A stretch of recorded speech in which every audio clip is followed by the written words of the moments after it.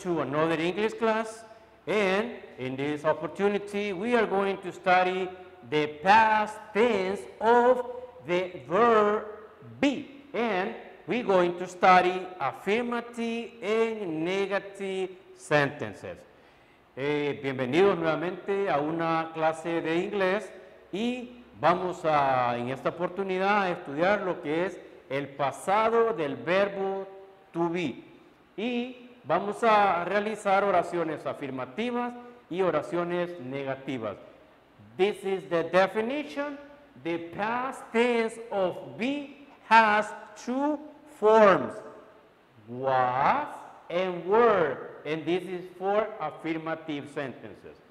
Wasn't, weren't, these are for negative sentences.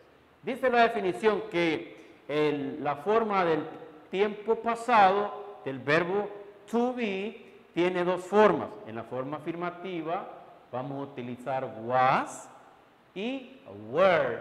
Ahora bien, siempre debemos de recordar que para cada verbo va a ir de acuerdo a su sujeto. Para was voy a utilizar los sujetos siempre. I, he, and she. En, el que casi no se utiliza es it. Volvamos a decirlos. I, he, she, it. Entonces yo puedo decir I was, he was, she was, it was. Luego el were. Este es el otro verbo para plurales. Aquí vamos a utilizar los sujetos you, we, and they. Entonces yo puedo decir you were, we were, and they were. Y también, aprovechando la forma negativa, wasn't and weren't.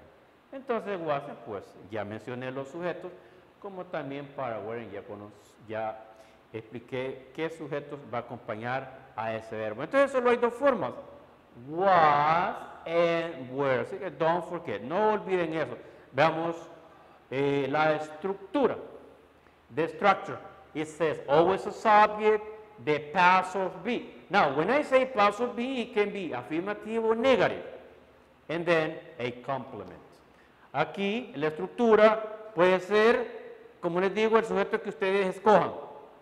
El paso B ya puede ser cuando yo quiero una oración afirmativa, ya sé cuáles voy a utilizar para oración eh, afirmativa, que puede ser was o were.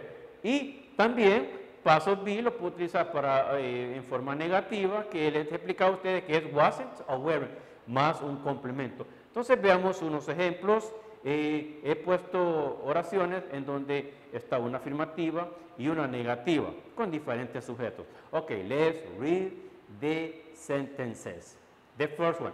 I was a student. I wasn't a student.